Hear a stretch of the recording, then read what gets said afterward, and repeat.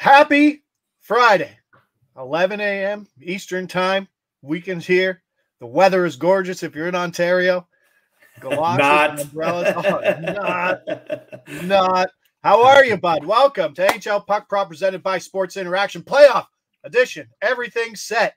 Mm-hmm. Sunday looks great. Like if if you're like me and you might have a couple drinks Saturday for the Leafs game, eight o'clock, you get four games, perfect schedule on Sunday. Yeah. It's the it's the best time of the year for hockey, right? I mean, it's a new season. Uh, it's a new energy, new level of excitement, new adrenaline that these players find to play some of the most entertaining hockey you could see because there's so much on the line. And when you get a slate like on a weekend where almost every time slot is filled with a game, it just makes it more that that much more entertaining. So I'm I'm pumped for it, and it's almost like been one of those seasons where you've just kind of like just been all right, you know. And I guess maybe because we haven't had like too many playoff races in the Western Conference, where it was really determined for a long time who was going to be in the playoffs. And in the East, I mean, there was that one spot that was sort of dangling out there between four teams, but it almost seems like all of us could have been ready for the playoffs like three weeks ago. Okay. I no, I get it and we're going to get right into it as I'm looking at the chat. Hi to everybody there.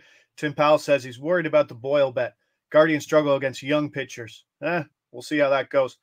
Uh, did Las Vegas tank last night? We'll see. I don't know. I mean, Edmonton didn't suit up anybody. It sure looks like they did, but I mean, I don't know. How do we prove that they did? Exactly. You, you can't. And we'll get to that. We'll get to the late series, the Monday series. But let's start off. Obviously, Toronto, Boston, that's where we start things off. Uh, like I, I, I got to take Boston with home ice at minus 120. I know it could be the square side. I know you mentioned it. Everybody talks about Toronto continuously losing to Boston, but Boston's in their own heads about dropping last year, last falling year. apart, right? Like right. our narrative is different than their narrative, but their narrative yeah. kind of sucks too. You got Charlie Coyle, Pavel Zacha down the center. It's a lot different than it was before. But for me, there's just too many questions going into this series. This is like the goaltending is an issue, penalty kill is an issue. We don't even know who the starting lines are going to be. Those are questions maybe you want to have settled going into it. Yeah. What what's your take on this? And I'll give you another play because I like Marchand to to find some points in the series too. Well, my take on is is that I always I always be weary of what the public opinion is on certain po- positions, certain situations, obviously certain series. And it just feels like everybody you talk to is feeling the same way about the Boston Bruins. And maybe it's because they've earned that position, knowing that how much they've dominated this Maple Leafs team historically. The last six times they've met in the playoffs, and we're going counting decades back. We're going back to the 60s. Yeah, it's all men to the playoffs. They're 6 and 0 against them. Um, they've won the last seven. But I mean, how much does that really matter in what is a completely new series with a new different with, with a completely new group of players? And I just feel like you know everybody is on Boston because they just don't trust Toronto in a lot of their failures. And that's fair. I, I get it. But, you know, the Boston Bruins haven't been playing great as of late. The Boston Bruins since January 1st have least have have less points than the Toronto Maple Leafs since January 1st. So Toronto's been the better team. And aside from goaltending, like where else does Boston really stand out to this Maple Leafs team? That's it. they, they, they don't look like a good team on paper. They still yeah, don't, but they they, they, they don't. They and, are. and I think I, I'm going to give a perspective from Toronto's angle here. Almost every year Toronto's entered the playoffs, they've been the team viewed as the favorite. They've been the team starting on home ice. So that already adds an extra amount of pressure. Them starting on the road, them starting as an underdog, maybe they're not feeling the same amount of pressure. And maybe that could bode well for this team because you know at home if they go down one nothing in game one they're not going to feel the sort of pressure in the crowd saying oh boy here we go again. When they're on the road that's all eliminated. And i think you know you can easily say there's pressure on toronto side. There's just as much even more pressure on boston side because boston last year had one of the biggest choke jobs in NHL history. Up 3 1 against the team that had the worst record entering the playoffs and lost in game seven and watched that team march to the Stanley Cup finals. So, how much does that still in their head and how much is that scarring them? So, and I think if you look at this Maple Leafs roster, I think you can say too, this is the best makeup of a roster that you can envision having playoff success because they got guys that you look at playing playoff hockey. So that's how I would view Toronto in this series.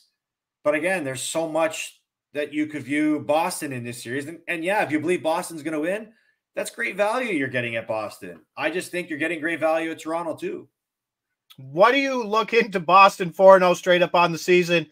Last 4 1 wins, obviously at home. Jeremy Swayman 3 and 0 with a 1.3 goals against average versus this team. Does that carry over? I don't know. I don't know either. Yeah, everybody everybody starts at zero. I mean, Matthew scored 69 goals. Pavel Zacha and Austin Matthews are starting with the same amount of goals. Come playoff time. I, I love listening to your show and hearing repeats of things like like when you hear other people eh, like uh Joe Bowen was on today and he did the man on the moon thing. Right. Right. Yeah. Right. That so it's just like Joe. like I think everything we think we know going into the playoffs is eh, we, we could know absolutely nothing. Yeah. Going no. into the playoffs because if we get reminded of one thing every year in hockey, the regular season is completely different from the from the from the playoffs. And I think we're going to get reminded of that again this year. Yeah, I can take the Bruins minus 120, home ice, goaltend advantage, significant. Not have to pay too much juice for a home team. Okay, but hold on. You say significant. Okay. What if Ilya Samsonov is the guy that he was prior to these two games and over the last two months, where he was putting up Vezina type of numbers? And remember, this guy beat Vasilevskiy in a playoff round last year. Samsonov at his best is nowhere near the goaltending of Boston's either or. Okay. Okay. Okay. Uh, you can ride on the, the, the Sammy. The Sammy Look, I, am not picking. A, I, I don't want to pick a, a team in this year's. I'm just saying if I had to pick, yeah, I would probably pick Toronto because you're getting plus money at it. Sure. Why not? They're evenly matched. I, I, mean, being away, there's a point being away to start the series away from Toronto media in Boston probably is is advantageous for them as well. Mm-hmm. Uh, Marchand to lead the series in scoring plus twelve hundred. Give it to me. Yes, please. He's not on the line with Pasta, so that's a big one because you want to get away from the Pasta points, right? Like mm-hmm. you can't take him and Pasta if they're playing on the same line. But in this situation, 33 points over his last 26 playoff games. And the thing is, I think there's a one big blow up game for for Toronto in this series where Toronto could still win the series, but a 6-1 Boston win could be in there with Marchand just doing his thing. So I yeah, mean that's fair. Uh, plus twelve hundred. Dave asked, Dave asked who else is scoring besides Pasta on Boston. It, it's a very good point. Like, is Danton Heinen on the top line really pushing the needle for Boston? I get it. But these are the same things we said back in October where we didn't give Boston any credit for what they were being. And they, yeah. they still have the same team. They didn't really add much. So you, you have to give it to them. I think the other thing, too, is sorry, one second. If you really think Boston didn't purposely th- tank in the last two games, well, then you can't be excited about their offense being shut out by Washington and only putting up one goal against Ottawa. Yeah, it's it's not a great right. offensive team. You're right. It really isn't, especially if you can just minimize passes. That's why I think there's some value in Marchand on the other side. Islanders, Hurricanes. Are we giving the Islanders a shot here? Are we going? It's it's var. it's got to be Varlamov. Like it, it can't mm. be Sorokin. Varlamov for Conn Smythe, bud. I, I mean, like, if they're not going to win, but if they're going to win, it's going to be with their goaltending. Yeah. Right. Plus 10,000. For Varlamov? yeah. Holy crap. Yeah. Yeah. Right. Like, just, yeah. well, hey, we got we gotta we gotta play in there for the the Islanders to win the Stanley Cup at plus sixty six hundred. The right? series was split 2 2. The Islanders did do something that a lot of people can't do, and that's go into Carolina and win. They won both games in Carolina. Three games in the series were decided by one goal. Carolina is just a different beast, though. They have the playoff experience. Freddie Andersen, he's got to hold up, A, because he was amazing down the stretch. The over five and a half total games is minus 140, which is a bit of a bit of a, a bit juicy for me. Series total games at six is plus 235. Is this series just because of the goaltending on one side? If the Islanders can get good goaltending, is this going to be a closer series than people think? Um, no. I I mean I'm going to say yes because again, it's the playoffs, right? And I and I would not discount the Islanders because yeah, they they might not look like a really good team, but we have to remember this team has a lot of players that have played in playoff hockey. Like and to so, finals, like Western, yeah. like to the Eastern Conference Finals, yeah. And I believe these two teams met last year in the first round. And four Carolina, two. yeah, Carolina, Carolina squeaked it out with Raanta in net. Um, yeah. and so you know, how much does that play into this matchup too? I mean, anytime I see a plus 300 in an NHL playoffs, why wouldn't you like that value? I, I think Carolina is a great team that has the potential to win the Stanley Cup. And I think they do win this series. But if Varlamov gets hot and Patrick Roy can somehow motivate to push these Islanders players to another level, they have the talent. They have the same talent level to compete with the Carolina Hurricanes. I just think Carolina oh, Hurricanes are a better a team take. because they play a better team structured type of game. So Kyle Palmieri matches up well versus Andrei Svechnikov. Matt Barzal. I know, but after the top line, Brock Nelson, top line Nelson's a 35 goal scorer, right? Uh, do, do, the Islanders still have the guy you filled? Like, is oh, Clutterbuck? Yeah. Is he still there? Yeah, they have that Good whole God. line still there. Cizikas, Clutterbuck, and Martin. Wild, wild. So, and we know playoffs, like the first couple games in every playoff, we'll probably see a lot of scoring, but through through game three, game four, game five, everything gets tighter, right? And, and even even the backup. I mean, Sorokin was wasn't terrible down the stretch, but like if things go south for the Islanders, that momentum swing to bring in Sorokin, who I mean, honestly, he was a top three betting favorite for the con or for the Vezina to begin the year. He could win a series too. Yeah. But yeah, six games. I like six games here, plus 235. Carlo thinks there's some value on the Islanders or basically anybody in the playoffs at plus 300. And uh, little Varlamov, Conn Smythe, plus 10,000 in the pocket. but like it's, it, yeah, it, we're going to get to it the same reason uh, in a couple games. So, don't, so get... don't you think, don't you think if you've sprayed one unit on every underdog in every matchup, at the end of the playoffs, you'll be up money? Oh, that's on the spot. One, two, three, uh, eight. No. No? I don't think so. No. Okay. Like you, you burn eight units right away. And even if you hit Islanders and Capitals, you're still down a unit. Oh, wait, seven, okay. no, seven, five, seven, three. You're still up a, only a single unit hitting the two biggest dogs on that situation. Okay, that's fair. I'm glad you. That's the way the way you broke it down makes sense. Yeah, and the probability of those both those guys winning obviously very low.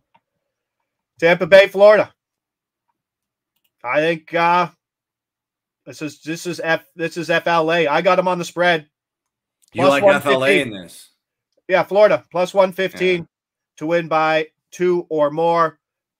This is the only team that we talked about it all year that played playoff hockey for 82 games of the year. Mm-hmm. That third line is an absolute dominant one with uh, Ristolainen and now Rodrigues Uh, and the other, the, the other Finn, whoever, uh, I can't even think of his name. What is it? Ristolainen. Oh, Anton Lundell. Yeah. Like that's a really great third line. Obviously, there's a ton of talent on the top six, but they have it there. They got great depth at defense uh, I believe like even number seven could come in and step into a role which a lot of teams. Cool. I mean, especially who's oh, they got they got someone on the bench on seven who I forget who it is. Uh, Kulikov. Yeah, and there's I think there's another one too, uh, a Canadian guy. Uh, but Tampa Bay they don't have the depth. Sergachev still still out, and I mean Vasilevskiy. The injury concerns me. And then the workload again, like right out of the gate, coming off an injury, you're like, okay, here's nine of ten games again. Yeah. What do you uh, what what what's your take on this series? Um It's tough, man. I I I like I like the Islanders. I it's Tampa Bay, Florida. No, no, I know. I was getting to that. I'm just saying. I, I, okay. I, I, like I like the Islanders in, in the Carolina uh, matchup, even though Carolina can win. The thing that that concerns me in this Florida Tampa series is Florida likes to. They're going to initiate trying to bully teams around. They're one of the most penalized teams in the league, and Tampa Bay has the best power play in the league. Like if Tampa Bay is going to win this series, it's going to be because of their special teams and obviously Vasilevskiy. Like if Vasilevskiy decides to put the John Wick mask on and just go full out, you know, um, you know, uh, brick wall mode, uh, they could easily win this series. I I do like Florida in this series. I, I I totally agree with everything you said about them. I think they're deep. They're they've been playing playoff hockey since last year. But you know, the question mark is what what type of Bobrovsky you're gonna get.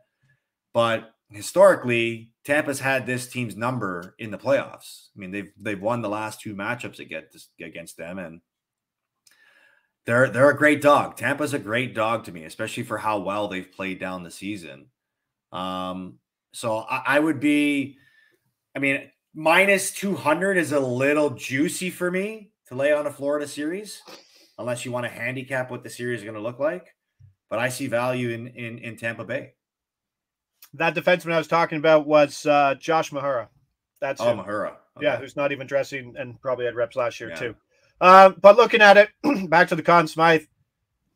I mean, Reinhart's contract year, like, is, like if, if you could draw up what a contract year looks like, yeah, and like probably the most impressive contract year, Sam Reinhart's right up there. I, I obviously think just because of playoff style, I think Tkachuk at plus 2,500 is the most probable of the Florida guys. If you're taking Florida guys, take him at 25 to 1 because of the style that he plays. And if Florida had won the Stanley Cup last year, he probably would have won it. It was between him and Bob, but he was leading in points. Big deal. Sam Reinhart. Good God. Sam Reinhart plus 5,000 for Conn Smythe. Yeah. What, like when we're looking at goals, when we're looking at big time goals, which I mean, Tkachuk was scoring, that's something I want to look at. Barkov is the shortest at 1800, but Reinhart could be scoring, like I said, some big goals, which goes a lot longer and a lot further. Uh, what about uh, what about Kucherov, Conn Smythe? Ooh, let's find out. Like, if you like Tampa to make a deep run, like, wouldn't he be the guy leading the way, and him and Vasilevskiy? But you probably take Kucherov because he'll put up a million points. Plus thirty five hundred. Right.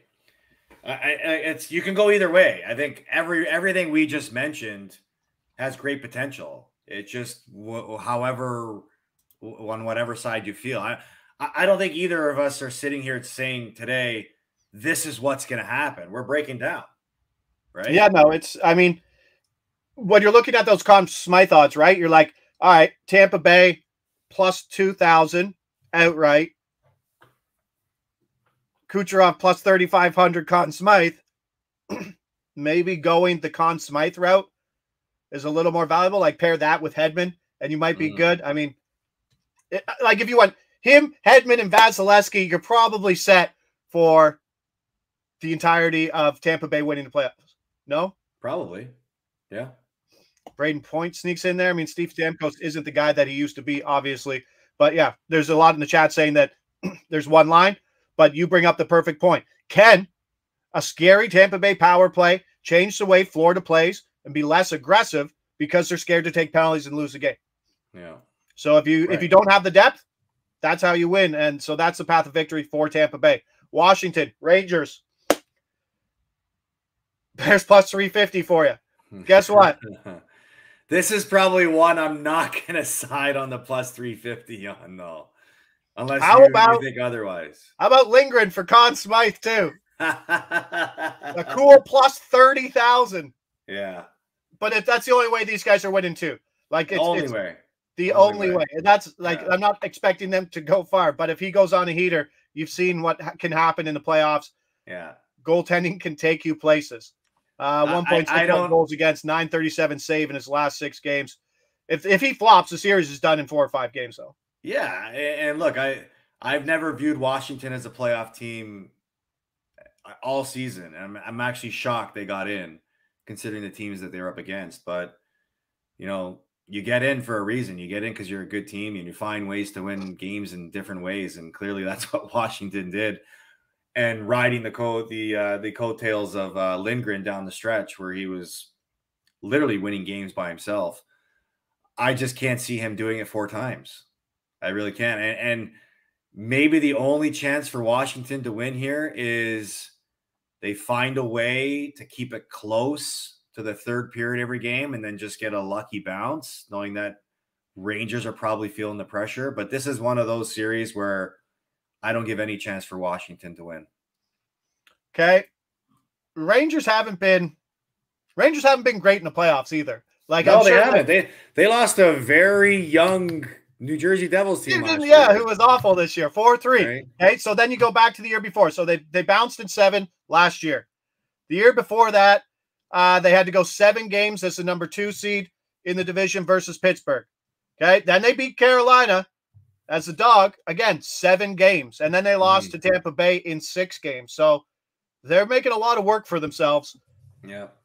Uh, if we're looking at niche props here, road wins under two and a half minus 110 in the series. Interesting. Interesting indeed. If this is over in five games, that's that's done. Yeah. So it has to go five or less, basically, is what you're saying. Or no. They could go home, home, home, home, home, home, home, and win in Oh, seven yeah. still. Yeah. There's a lot of Wow. outs for under two and a half road wins. Wow. I didn't even know that type of prop existed. Oh, buddy, go digging. There, there's plenty of there's plenty of funny ones out there, but it, it's certainly one to target. I think in in these like trying to find value with series that are projected to yeah. go Instead short. of instead of chasing a series price, right? Find other uh you know angles that you could probably make a profit in these uh in these series. All right, Sure. let's switch gears. Good one there. And as we get to as we're betting player props too, let's also not forget block shots and defenseman shots on net. Things don't get cute in the playoffs. Mhm. Shots on net, especially versus goalies who are hot. Colorado, Winnipeg. Ugh, what do you think about Winnipeg to win the series plus 115? I love it. Yeah, I don't get too. this series price. I really don't. Colorado's just such an overrated team. They have such an advantage at home, sure. But on Yeah. the road this year, they were what 19 22 straight up with a negative goal differential. This was a team that took advantage of altitude. We talked about it. MacKinnon Mhm. ran up points at home. It's a different beast when we go to Winnipeg. And Winnipeg looked great last year. Josh Morrissey injury changed Hurt the them. dynamic of Yeah. that They entire almost went up nothing on Vegas in the first round, and and, and then he the and then he was out, and that was it. That was the Morrissey deciding factor. and Vegas ran away with the series.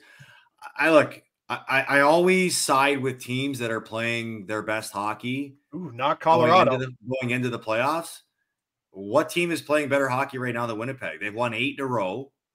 They've already beaten some of the league's best in this eight game stretch. They have, you know, championship caliber goaltending in Hellebuyck. They probably play the best form of team defense in the National Hockey League. They have great forward depth, one through four. I mean, the names on the bottom six might not be names you recognize, but you look at their production, they've been a big reason why Winnipeg has been able to be where they're at. They they find a way to score timely goals. And you look at their defense too. I mean, there's no bruising guys on that on that blue line, but they got guys that can get the job done. And so I, I love Winnipeg, and I, and everything about Colorado. Yeah, I, I think this is just the books understanding that they got MacKinnon, who's probably going to be the Hart Trophy. They got Rantanen. They got Makar, who's one of the best defensemen. But how can you trust their goaltending? Like, I mean, just I don't get it. Since March 1st, not including last night's game where Edmonton sat basically everybody, Colorado has three wins versus playoff teams since March 1st. Yeah. This is a Uh, team that's been running up running up scores versus bad teams all year and taking advantage of home. Get And now Winnipeg run and in- get the value on Winnipeg right now, and Winnipeg's at home too. Like, That's what I mean. So all right, so and we'll get to that in a second. Jonathan Drouin did exit. Okay, that's that's a top. He was playing with MacKinnon and Ranton and Nichushkin jumps up to that line. All of a sudden, you're looking at a second line of Artturi Lehkonen, Casey Mittelstadt, and Zach Parise. That could Oh, be easy to match up against at home with last change. yeah, no, for sure, it absolutely can. And, and you just look at their bottom six too. There's, you know, there's a couple of um, you know holes I, I would say in that bottom six, but you know, Cogliano's always a stud. They have two fourth lines on their bottom six. Yeah.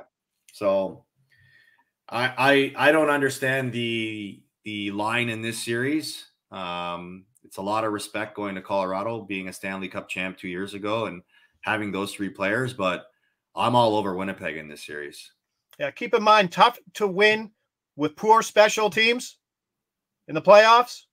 Colorado's penalty kill since March 31st, 59%. Oh my goodness. Yeah, Oh, just yeah, just ahead of San Jose, I believe, Wow. but just That's below tough. Anaheim.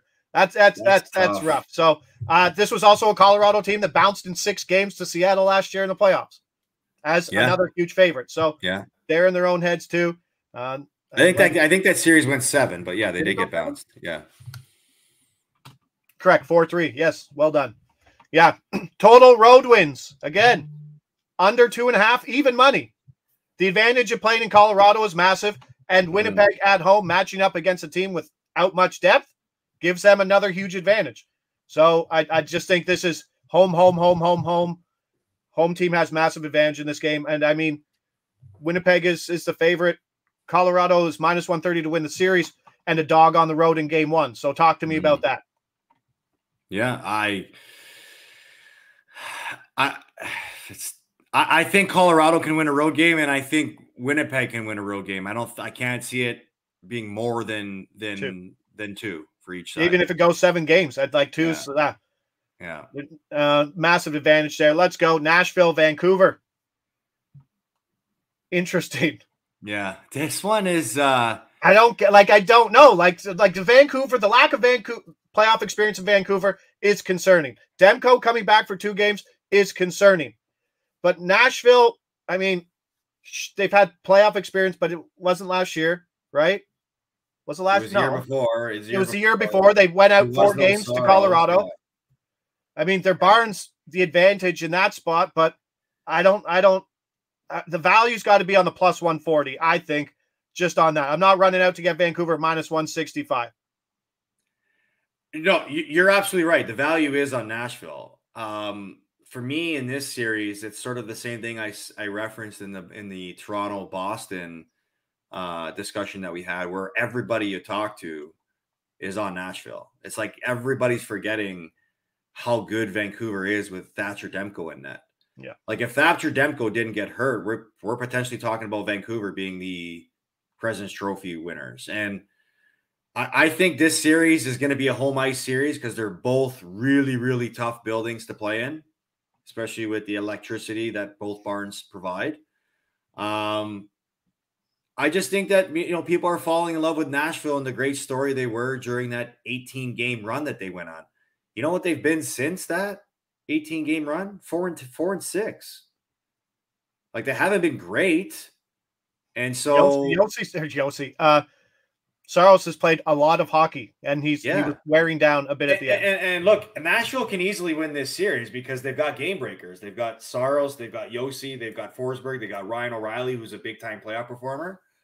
But I don't know. I just I, I think Vancouver. I know they're favored in this series, but they're basically the underdog and everybody you talk to because everyone's like, and I don't like siding with the the popular public opinion because how many times does that you know work out where you know everybody you talk to is saying, "Oh, watch out for Nashville. Nashville could be this year's Florida."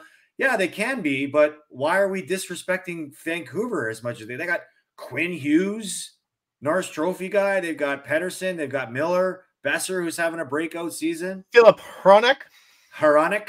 Hronek, he's a Yes. stud too. Like he's he's the perfect compliment to use. So, I I think at minus 165, I think maybe you can get it at, at cheaper prices else, elsewhere as well too. I think that's value in Vancouver because I think they should be a bigger favorite in this matchup. Interesting. I'm hearing some tunes. I don't know where they're coming from. You hear that? No, I don't hear anything. Oh, okay. Well, then I'll just ignore it. Fantastic. It's going to be super distracting. It's probably one of your pages that you have playing that's playing music in the background. Yeah, it's probably just a dumb ad in my background. All right, but Conor Garland, we keep talking about him. Well, guess what? He leads the team in goals with nine since March 1st. That's a 20 game stretch. Still PP1, still second line. Leads the team in shots on goal per 60 and shot attempts per 60. Beating Forsberg is tough, but to lead the series in goals, Conor Garland. Wow. Sports Interaction plus 1300. I mean, I don't know. I don't know the so house rules on the dead heat if it's a tie. You're measuring him versus Forsberg versus maybe Nyquist, Pettersson, no, Miller, Pettersson won't be there. Hughes. No, it's great value for a guy that's literally been elevated in the lineup and that and that's where that's where the value is, right? Plus twenty five thousand for Conn Smythe. Like if you want to get Vancouver, make sure to get a piece of Conor Garland on your Conn Smythe at plus twenty five thousand because why not? If if it, if important goals mean a lot, that's the way to go. Going to be tough to beat out Quinn Hughes, who continues to point constantly, or Demko if he steals a series. But plus twenty five thousand is big. All right, let's get to the last two here. The ones that were settled. Uh, yesterday. Yeah, the Monday games, Vegas, Dallas. I know you're a Vegas guy. I know there's experience. Hit that like button, as producer Mick says. He's got to jump off and get ready for uh, before you bet that comes on at 12 o'clock with Joe Osborne as it goes there. But Dallas at minus 130, bud. As I'm going to pop it up because I think I've lost them. Dallas at minus 130. I know you like Vegas, and I know this is going to be a push for you minus 130. Like, yeah, I I don't see value in betting Vegas here. No, I want a like, I want a longer price for sure. Yeah, you should be getting a bigger price for them being the eighth seed. I think the value here is betting Dallas because they're the top team. And you have to think that the loss of last year's playoff series is going to motivate them even more. Um, the, the chance to beat the defending Stanley Cup champs. And like we like Vegas could easily make another run for the playoffs. I wouldn't put that past them, but how do we know how all these pieces are going to fit together that have been out? You know, yeah. Stones Stones expected to be back for game one. You know, they've been dealing with some injuries on the defense, and as far as I know, all those guys are supposed to be back in game one. It, can Vegas be the team that turns on the switch? Yes, I, I give them that credit. I think they can. But Adin Hill, Goaltending scares me. I mean, he had a great run last year, but he had a great start to this season, but he's been touch and go for most of the season too.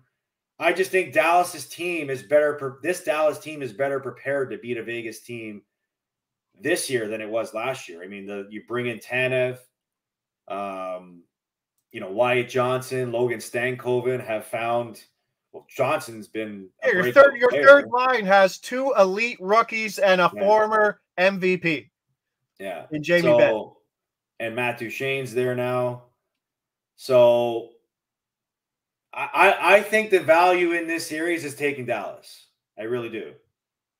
Yeah. Um, versus Vegas. Because Vegas could win this series, but plus 110, like it's not worth it to me.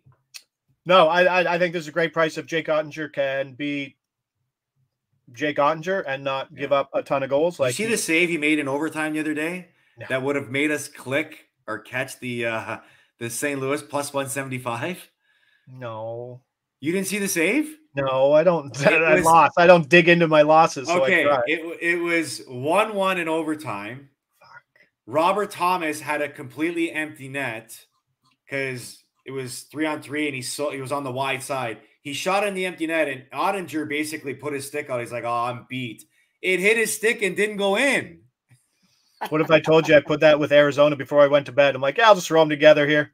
It would have won oh, me seven. I, I have won me seven hundred bucks. I gotta send you this save. You're gonna go. Nuts. I, I I got it. I'm bringing it up now. To you watch me break my heart. That save on Rob Thomas. Yeah, but like I said, hurdle for shots. Parker Smith says there's a lot of moving pieces within that Vegas offense that is going to have to come together.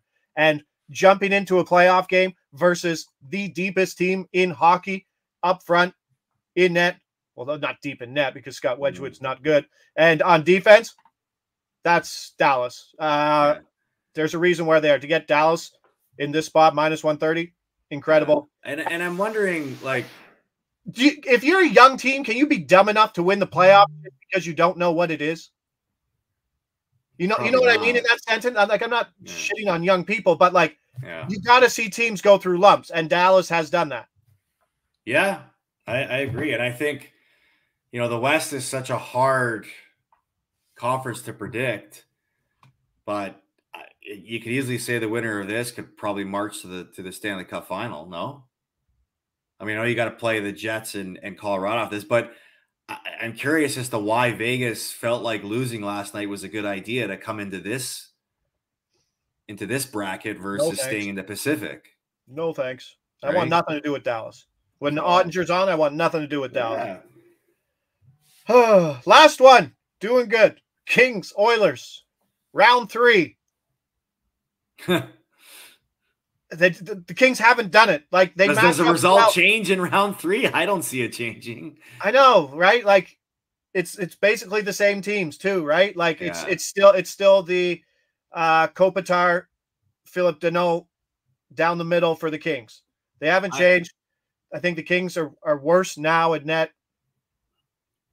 I, I just think that the the Edmonton Oilers woke up with the biggest Christmas gift this morning because with Vegas and that goes losing, to show they dress nobody and like shit yeah. happens, right? Like yeah, they they they caught a break without getting Vegas. Now they get LA, a team that they're very comfortable playing, very um, you know, confident knowing that they beat them in the past and you know, you look at their goaltending and stuff too.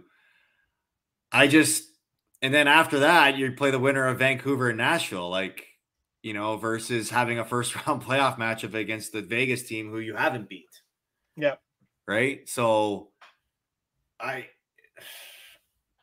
I the only thing that would go against the Edmonton Oilers right now is if they if the pressures of winning this series and knowing what they have ahead of them gets to them that their and path is easy and it's like this is yeah. our best chance. Well, just remember they started the season by having McDavid and Draisaitl say it's cup or bust. Yeah. Right? That's that's the pressure they're living with right now. Stuart Skinner so. could fall on his face too, right? Like, like he's got reps now, but like he's still not the goalie where you're like, oh, he's yeah. not he's not a Saros, he's not Oettinger, he's not a Shesterkin. Like he's up he's up there in the Sammy category when I'm looking at goalies and I'm tearing them up in this. Mm. Like I I'd might rather uh No, I get the price on Edmonton is hefty. It's what minus 185. Yeah, up there. Is it one yeah, 220. minus Like it's hefty, but I mean, I just don't know how Edmonton beats him with that goaltending. No, you're right. Seeing some movement on that Boston line going from minus 120 to minus 130. Oh, that's no, that's the game line. Sorry, I'm an idiot. Game one. Game one, money line, Boston, minus 130. Series price, minus 120. Uh, so, yeah, there's the eight games. It, it really is tough just to be like, this team's winning this at this, and there's a ton of value on this. But give Washington and maybe the Islanders a little more credit than the plus 350, plus 325, because they both have situations where their goaltenders can win them games, and they both have goaltenders coming into playoffs that can do that. And that's the only way you can beat those teams. You're not going to out you're not going to outpunch Carolina, probably not going to outpunch New York. They're going to need some big games from those and those guys. That's why we're getting those silly odds for Varlamov. What was Varlamov? What plus 50,000 or something? Something like that. 100,000 I think. Yeah, 100,000 and Lindgren for big plus money too. So, uh a lot to look forward to coming Buckle up. Buckle up, man. Should be fun. Yeah, all my plays, all my my leans and plays and my looks uh are on my X feed everything there except for the two games that were established today. But looking forward to it. We'll be doing our regular Wednesday, Thursday, Friday playoff run as it goes until the games kind of dissipate, and then we'll kind of figure it out from there. But next week, Wednesday, Thursday, Friday releases again starting at 10 a.m.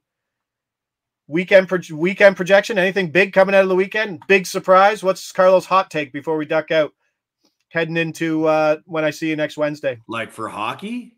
Oh yeah. Oh, there's no big surprises. Game one. Bet the underdogs in game one. That's what I. There, there he goes. Bet the underdogs. Yes. All right. The path to Conn Smythe victory for Semyon Varlamov starts Saturday at 5 We're, o'clock. uh, we're big Isles fans as we take it. Like We might plus be. 60, Yeah, Andy Francis the- is absolutely going to kill us. But yeah, Uh, appreciate everybody there in the chat. I'll be joining Andy pretty soon. Uh, talking some hockey. Let's leave it at that. I'm Josh Inglis. He's Carlo Koliak. Well, This is NHL Puck Prop presented by Sports Interaction. Playoffs, bud. Let's go. yeah. Well, thanks for sticking with us, folks. The chat was on fire today. It was a 40 minute segment, but a lot to break down, and we had fun doing it. So good luck with your bets this weekend. All right. Cheers.